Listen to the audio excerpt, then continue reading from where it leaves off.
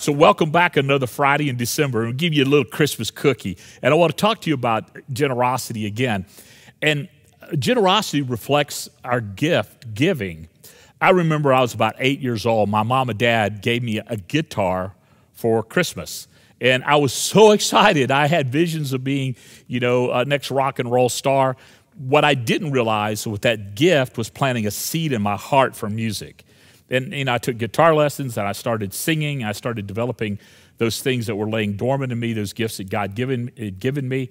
And that really became a lifelong passion of mine. A gift spurred an opportunity for me to give more.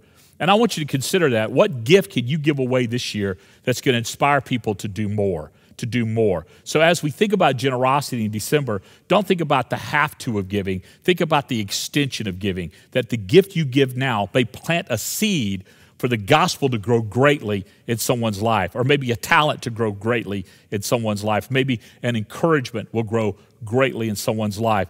And that's a little Christmas cookie here on a Friday in December to remind you that your gift does far more than you think it can. So let's be generous in this December.